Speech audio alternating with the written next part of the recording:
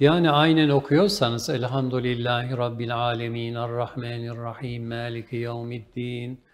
Böyle okuyorsanız innellezine keferu sevaun aleyhim enzartahum efendim meseluhum kemeselillezi istevkada nara devam lem yekunillezine keferu min ehlil kitab yani Hoca Efendi okuyor siz de böyle içinizden diliniz dönerek okuyorsanız siz de ayrıca hatim yapmış olursunuz. Yok gözle takip ediyorsanız e, dinleme sevabı ve bakma sevabı almış olursunuz. Yani bu şekliyle de ne olur? Mukabele sevabı dediğimiz mukabele. Yani bir hatim yapılmış olur ve onu bu şekliyle uygulayanlar o şekil sevap alırlar.